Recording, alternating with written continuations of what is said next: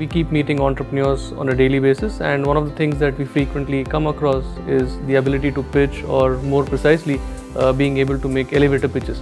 Being an accelerator, working with entrepreneurs, keeping on uh, iterating on new programs which cater to entrepreneurs, we decided to start PitchRight. We thought of an interesting way of doing it, selecting a handful of entrepreneurs, put them in a real elevator with angel investor who has done hundreds of deals in India in PitchRight Season 1, it was fantastic experience meeting variety of startups from multiple verticals and horizontal domains uh, like technology, consumer brand, crypto space. In usual pitching competitions, you generally go on a stage or in a room and pitch in front of an audience. Here, the participants had an additional level of thrill where they could feel the elevator moving while they were pitching to Sanjay.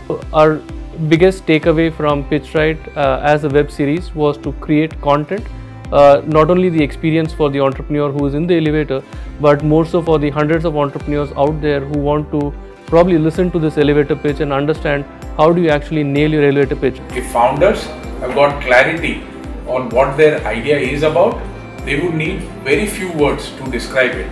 We had participants uh, who said that a minute with Sanjay was almost worth a month of market research. So that's a good validation for us as a content and as the format.